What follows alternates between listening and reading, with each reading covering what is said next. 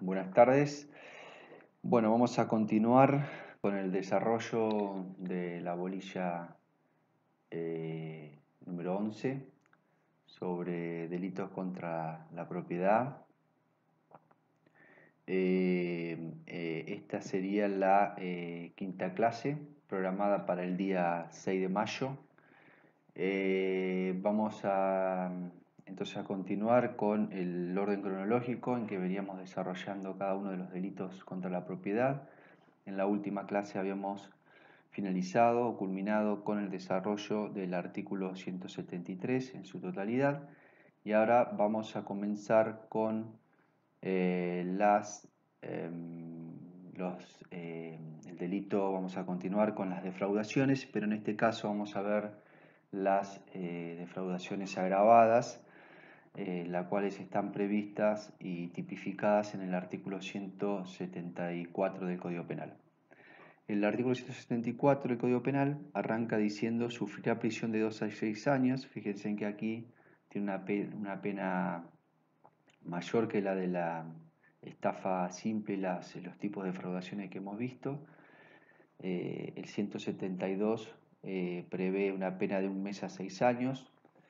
estas defraudaciones agravadas son de 2 a 6 años, es, decir, eleva el, mínimo legal de un mes a dos años, esa sería la, mayor eh, punitividad. Y eh, el mismo tiene un total de seis incisos y un último párrafo. Eh, el primer inciso dice el que para procurarse a sí mismo o procurar a otro un provecho ilegal en perjuicio de un asegurador o de un dador de préstamo a la gruesa, incendiario destruyere una cosa asegurada o una nave asegurada o cuya carga o flete estén asegurados o sobre la cual se haya efectuado un préstamo a la gruesa. Bien, bueno, en relación a este, a este inciso,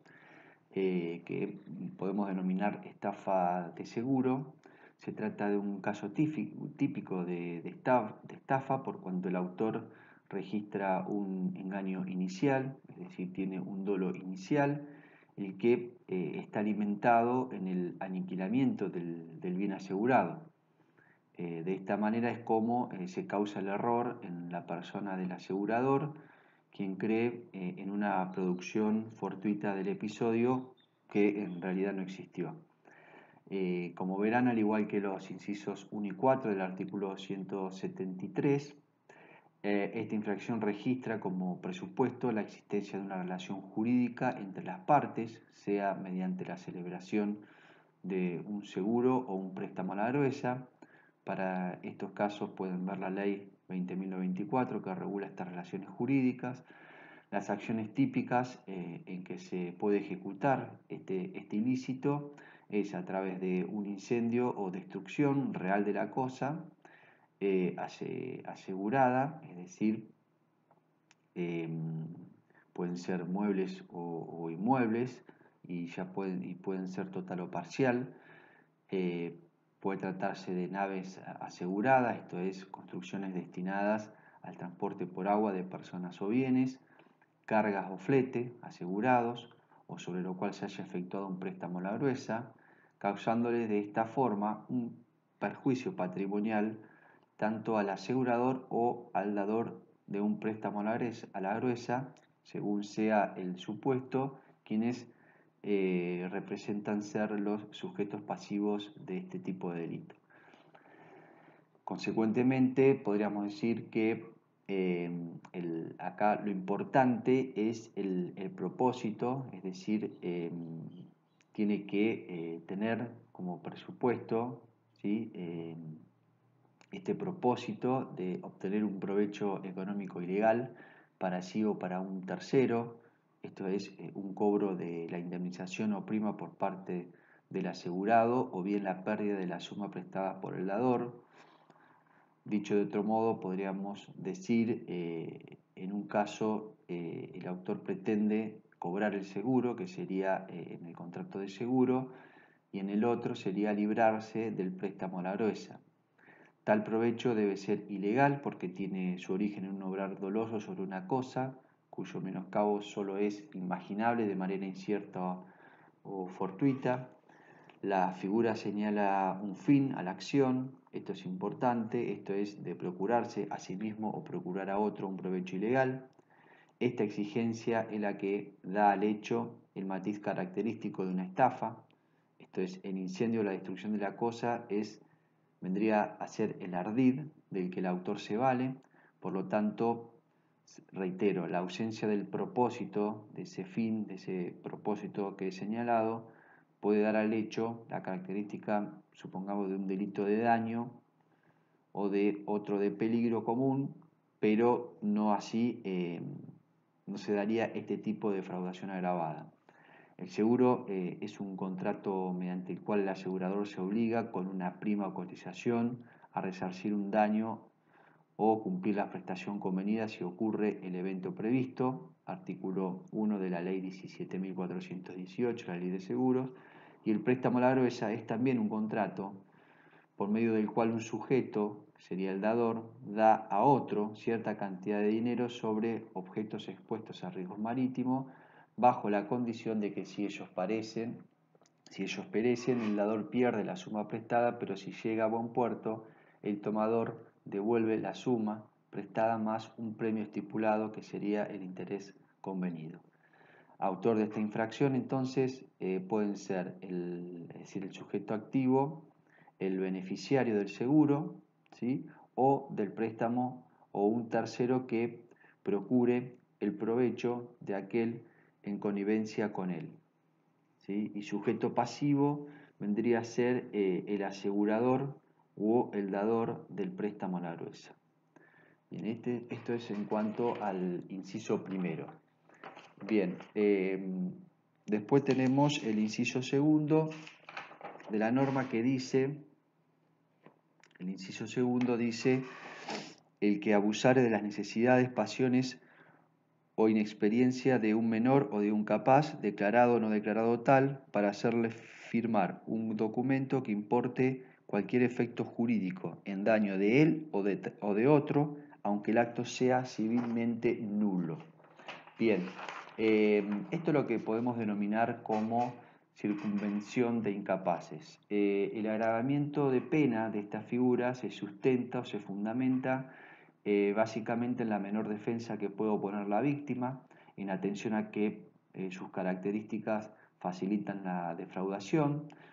Podemos mencionar que es cierto que la conducta de la gente, en este, en este supuesto puntual, no importa una verdadera estafa, pues porque en realidad no, no, engaña al menor o incapaz, o ni tampoco emplea un ardid para ello, como tampoco hay de su parte un abuso de confianza y ello a consecuencia de que no actúa en la ocasión gozando de la confianza del otro. Sin embargo, su comportamiento estaría próximo a una estafa, ya que acciona con dolo desde ab initio, es decir, desde el inicio, desde que contrata y hace firmar el documento al ofendido. Pero aun cuando el engaño no sea exigible, el delito no es incompatible con ciertas formas de engaño, siempre que éste se funde en el desconocimiento de la víctima originado en su falta de experiencia o en las perturbaciones álmicas provenientes de los otros factores. Bien, en cuanto al sujeto activo, puede ser cualquier persona. La ley eh, no pide que se trate de un individuo que se encuentre en el cuidado sobre el menor o incapaz, mientras que el sujeto pasivo solo puede ser un menor esto es un individuo que no ha cumplido 18 años de edad, esto conforme al artículo 25 del Código Civil y Comercial de la Nación, o un incapaz, podríamos definir persona que en el momento del hecho, por causas permanentes o transitorias, padece insuficiencias intelectuales o volitivas que le privan del discernimiento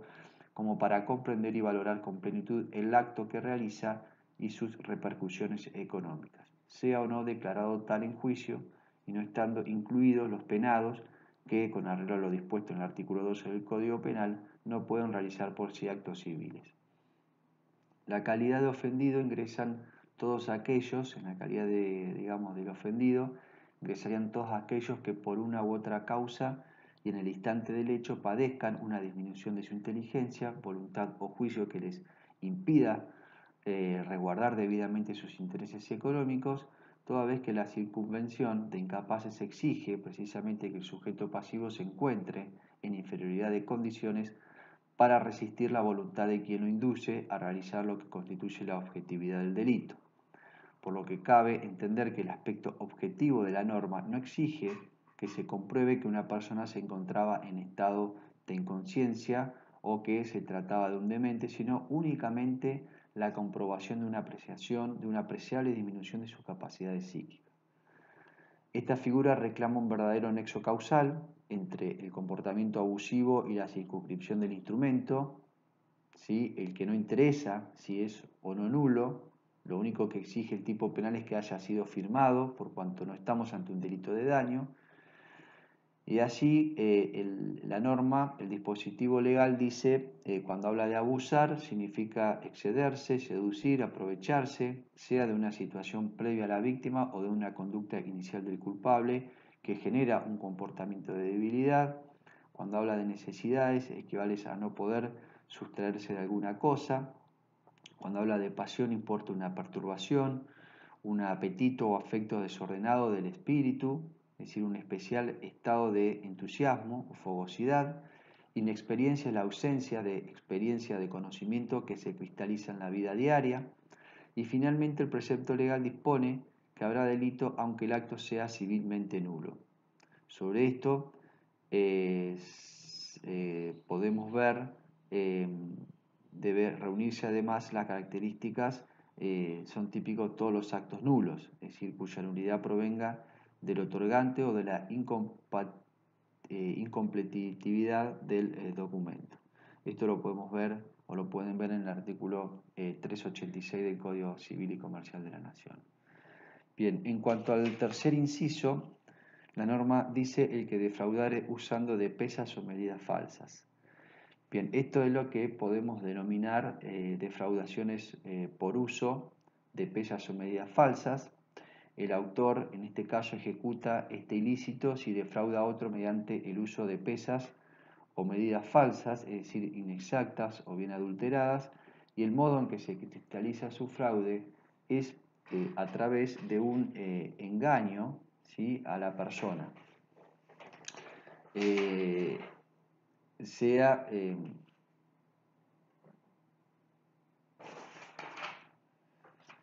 es decir, eh, dirigido más bien a un, digamos, al sujeto pasivo.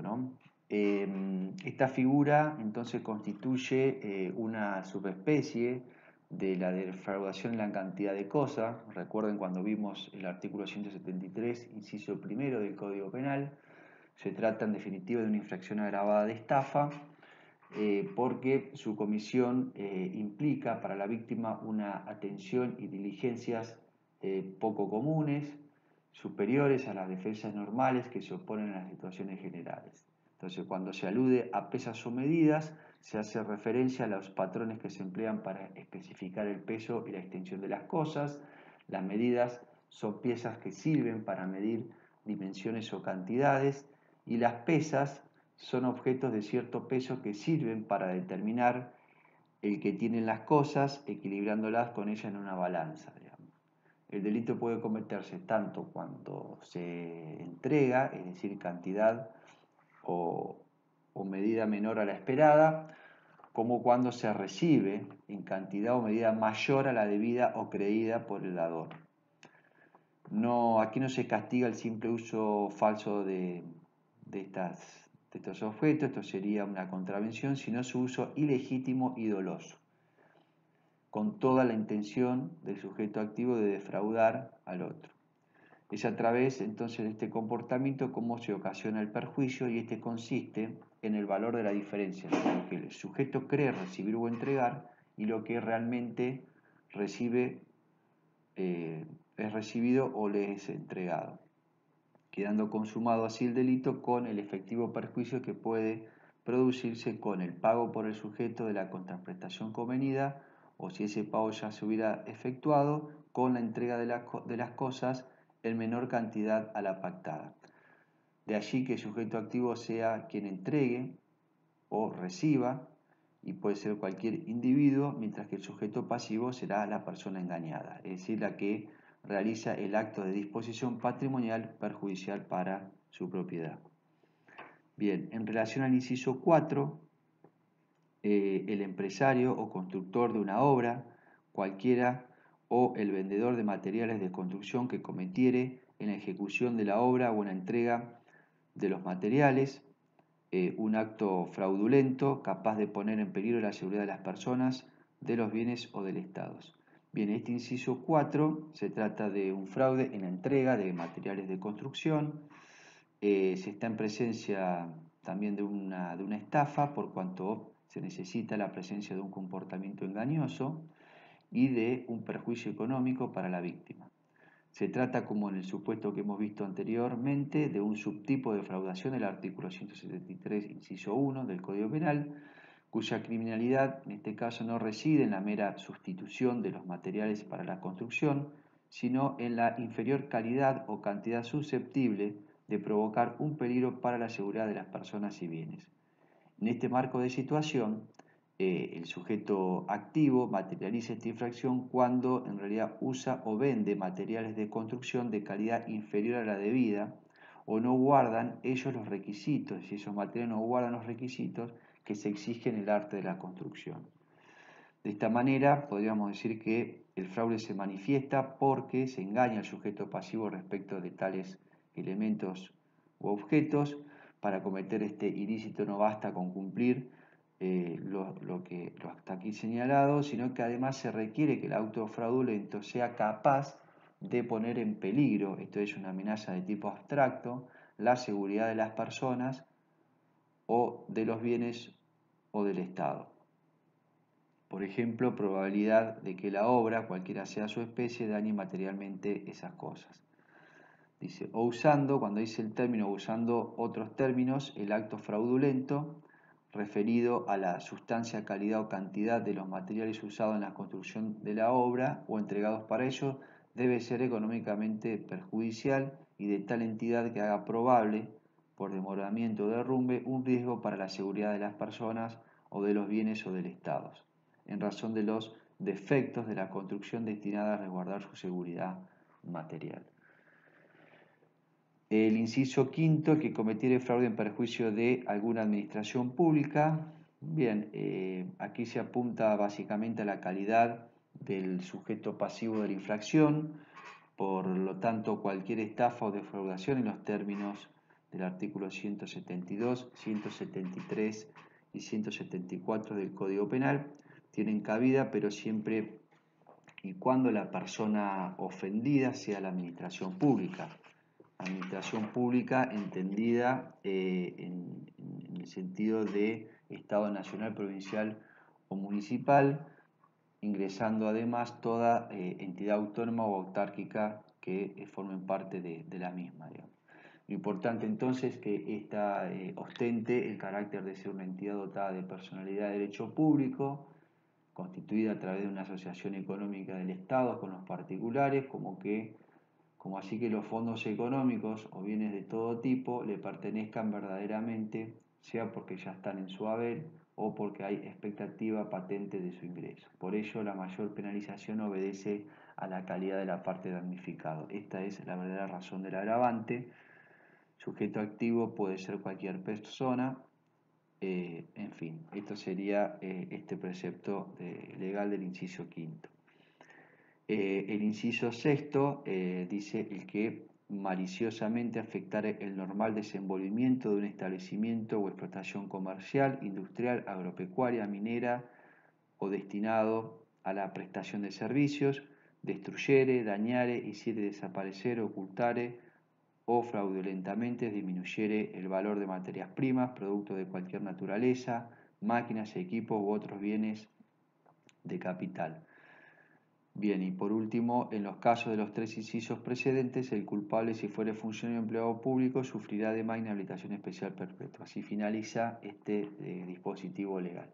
Bien, en cuanto a este inciso sexto, hablamos del delito de sabotaje y vaciamiento de empresas.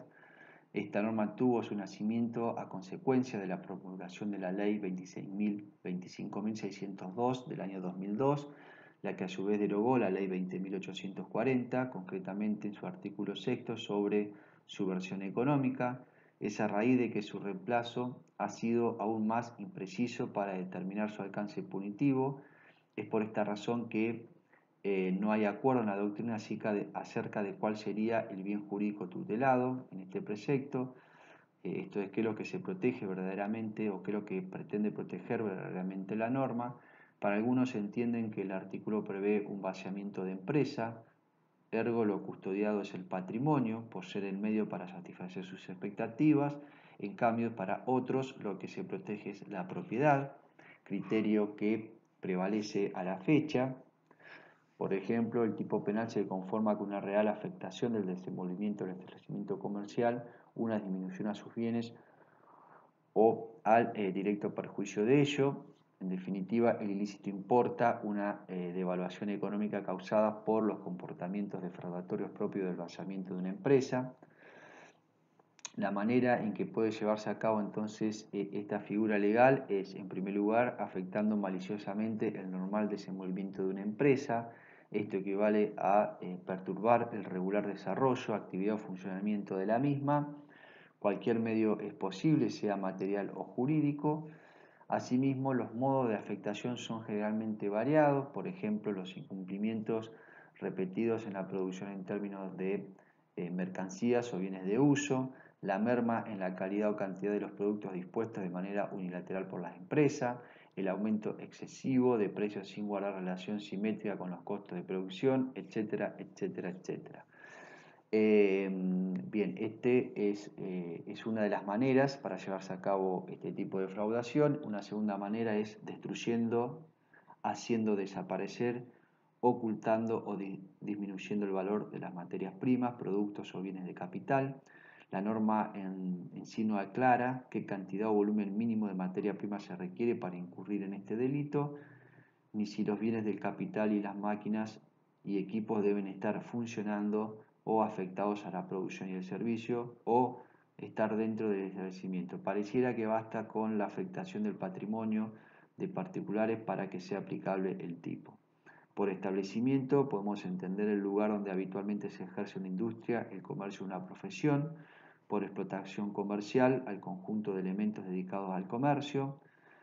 Eh, industrial es el establecimiento o explotación en cuyas instalaciones se llevan a cabo operaciones materiales tendientes a la obtención, transformación eh, o transporte de uno o varios productos. Entonces el establecimiento de explotación eh, serán también agropecuarios cuando se relacionan con la producción o industrialización de productos de campo. Finalmente son mineros cuando se dedican a la extracción de minerales. Bien, esto es lo que son los, los, tipos, eh, eh, lugares en donde eh, se podría dar este, este desenvolvimiento para cometer este delito. finalmente podemos decir que los, el sujeto activo no puede ser cualquier persona, sino un individuo que representa algún nivel jerárquico en el ámbito de decisión o disposición de la empresa. Se trata de un delito o de ilícito de mano propia, sujeto pasivo es el acreedor de la empresa, el titular del bien jurídico protegido, que puede ser persona individual o jurídica.